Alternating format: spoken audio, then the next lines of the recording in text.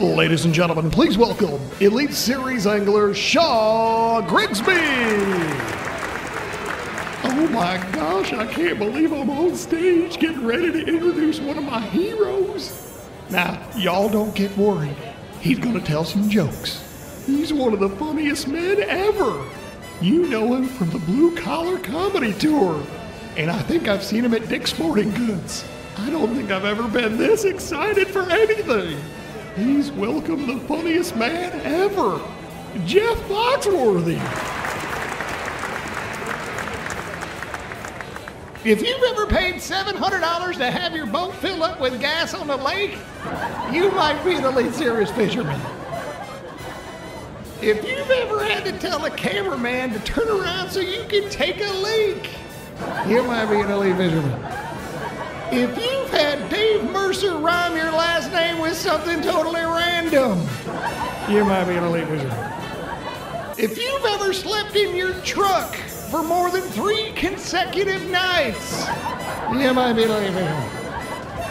If you've ever wished KVD would get hit by a bus, you might be an elite Series fisherman. If you've ever had to tell Mark Zona to hurry up and pay you back all that gambling money, you might be an elite Series fisherman.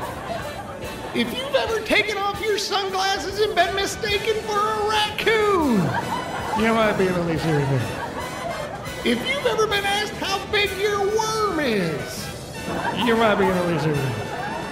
If you've ever thought that Trip Weldon was just some guy hanging around all day, you might be an elite fisherman. If you ever thought Edwin Evers looked like Steve Eiserman, you might be an elite fisherman.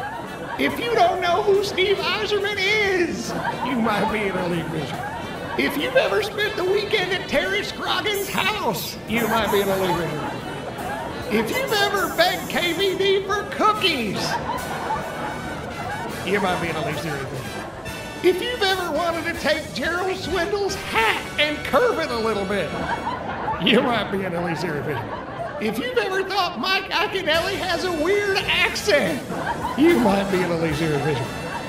If you've ever tried to pick something out of your teeth with a spinnerbait hook, you might be an elite Series fisherman.